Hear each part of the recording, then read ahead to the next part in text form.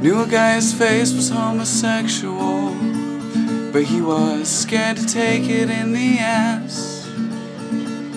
So he used to tell the ladies he was scared of vaginas, and the guys he'd suck their dick, but he had gas. So he couldn't take it further than that. And it made him a closet homosexual who was scared to go all the way. But if I ever wanted to go experience same sex fellatio, he was totally down, his mouth is gay.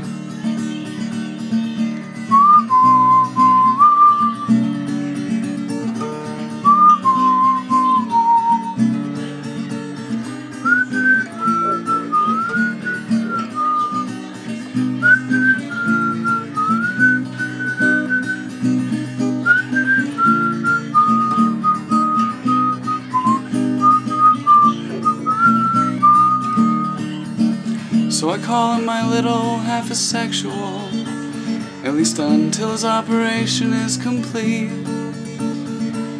With his new boob job, he'll get a better paying job and titty fuck himself in the street out of excitement, cause transvestite porn pays sweet, and he won't need his hands to beat his meat.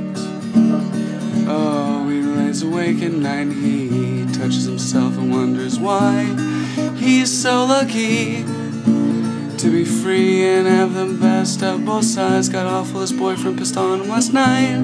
It's kind of creepy, the shit he tells me.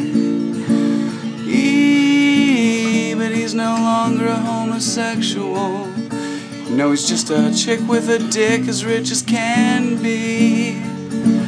But she won't tell no one if you don't want her to tell no one. And I swear, journals only read by me until it gets picked up late night TV. But then you'll both be dead of VD, and I'll sell all other rights to Stanley. He'll make a superhero out of me with my transvestite sidekick, distracting the bad guys by sucking their dick. And when he starts playing with holes, I'll sneak up behind him and cuff him and turn him in. Wearing brightly colored costumes, cleaning up the streets for the children.